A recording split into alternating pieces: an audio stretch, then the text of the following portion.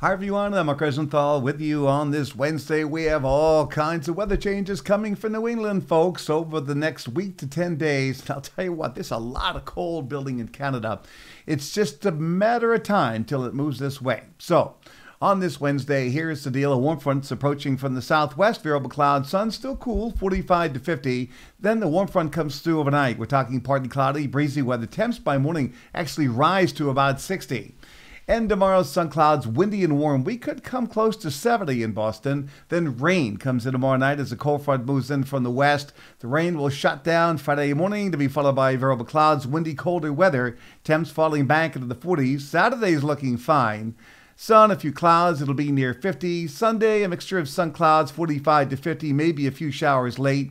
Rain is possible Sunday night and Monday. Then the computer models, mm, they can't handle what's coming potentially for Monday night, Tuesday, perhaps into Wednesday. There may or may not be a coastal storm south of New England with a cold rain or wet snow. The behind that, very cold air is coming. So lots to follow. Of course, we'll be around and we'll keep you posted. Till then, I'm Mark Rosenthal.